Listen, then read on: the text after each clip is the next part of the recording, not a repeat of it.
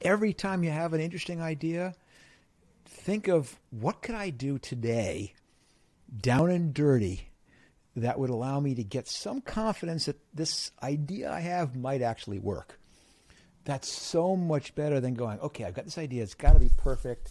We'll launch it in six weeks. No, that yeah, then you have the perfectly built wrong thing. And I'd Yes. rather you have a piece of crap which gives you an inkling you're going in the right direction. It's success is proportionate to how much you try, and how much you try is proportionate to how quick and dirty and cheap you can make each try. So uh, do with that what you will. But, uh,